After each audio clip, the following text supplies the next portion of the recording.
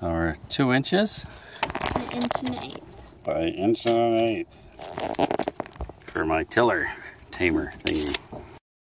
Back out in the garage. I took uh, some measurements while I was at the boat, and this is for my tiller tamer that I want to build.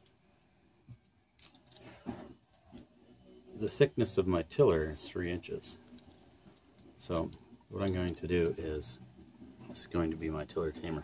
I'm going to measure three inches from here, mark it on here, and I'm going to bend this part into a loop.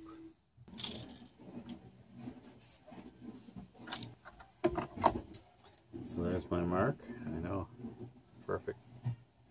Black on black. Super easy to see. Yeah, right there.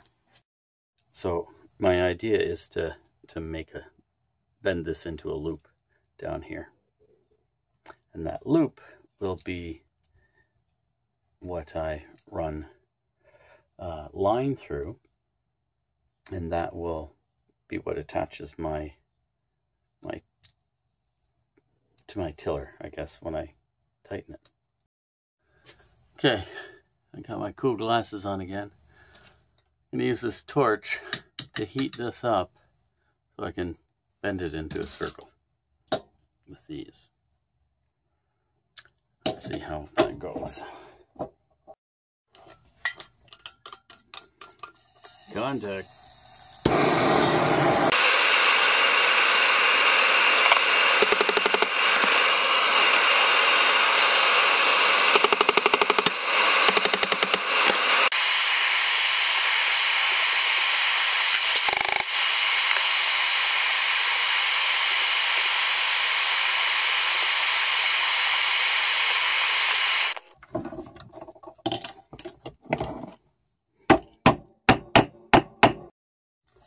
It's gonna heat up this bottom part a bit.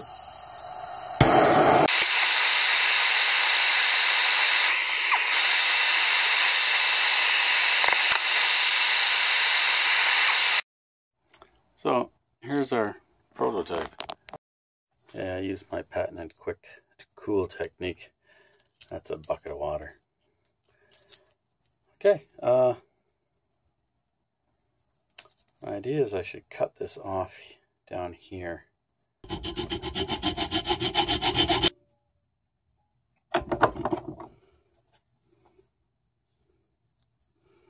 There we go.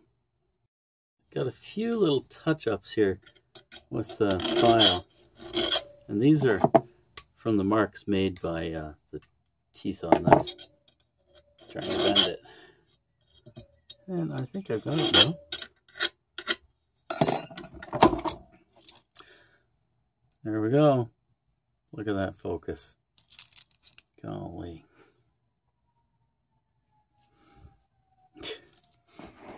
That's going to go through my tiller. Uh, and I will, so the little hole and hook will be underneath. And I will crank on this thing like that. And it will pull it up into the tiller, thus tightening the, uh, the rope. I will have to make a little bit of a hole in the bottom of my tiller, I think. Okay, yeah, I was just just measured this again. It's going to work fine. I will put a little uh, hole in the bottom of my tiller, uh, about a quarter of an inch deep, and that will uh, look after any uh, any slop that I have. I'll, I can also add uh, washers to the top and still turn it in a bit to tighten it. So lots of adjustment. So here's an example of how this is going to work.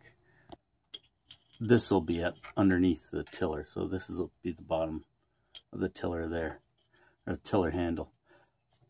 The line will go through here, and when you pivot this, it's going to pull this up into the bottom of the tiller handle. If you look here, like it it squishes this down. This cam acts like that. It squishes it down, pulling this up and in. So there's my prototype. we'll uh, take some drills out and uh, install it. See what happens. All right, what all can go wrong? I'll have to. Uh, I'll have compromised my tiller because I'll be drilling a hole through it, but it's going to be a, a pretty small hole. Whichever size this is, it's pretty small. So here's my tiller. Here's my piece that's going to go through, and that's how it's going to work. I'm going to be drilling a 5 8 hole uh, in the bottom of the tiller handle, and it's because it it will fit this nicely. So I'm going to put it about here. Let's uh, lean this up and uh, drill a hole. I'm not going very deep with this 5 8 so I'll go maybe quarter of an inch max. Drill down from the top first. It's kind of important to get this straight. Drilled my hole through. Um, you have to watch when you're using these. When you drill through the bottom, it uh, splits it. Uh, it's no big deal for me because I'm making it larger.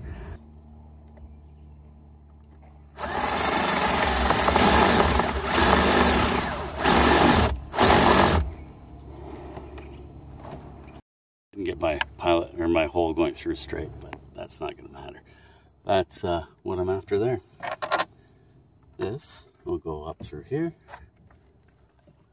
and you can see how it's going to pull the, the rope tighter as I tighten it. I'm going to go a little bit deeper, and this should be perfect. Let's take a look at this now. Yeah, that's going to be perfect.